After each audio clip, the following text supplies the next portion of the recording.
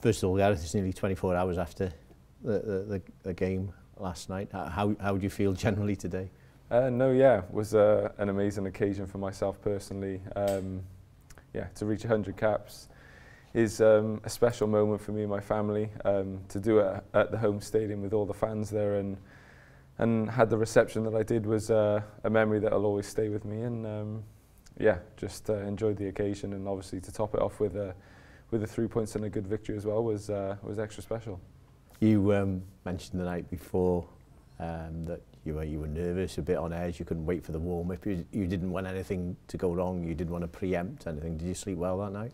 Yeah, no, I slept well. Obviously, um, I knew I'd done everything um, leading into the game correctly. So um, yeah, but I feel like when you're so close to such a, a big milestone, yeah, you you start to think about silly things and yeah, even just getting through the warm up, it was um, yeah, just make sure nothing goes wrong because I'd worked so hard. So. Uh, yeah, it was amazing to walk out with the captain's armband with the in front of the home fans. Um, had all my family in the stands as well. So uh, yeah, it was a, a special moment, one I'll never forget, and um, yeah, one that will always live in my mind.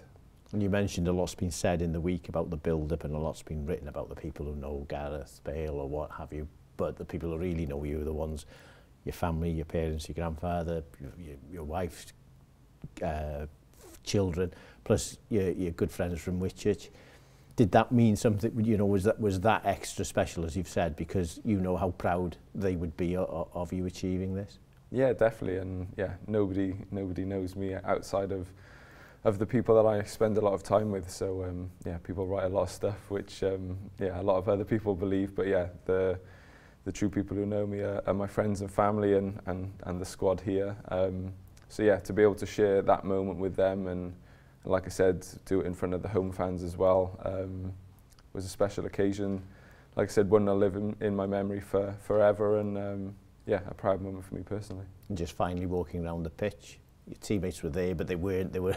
you had to go in front. I mean, what was what was what was like? I saw the bow towards uh, towards them all, but what what was that like?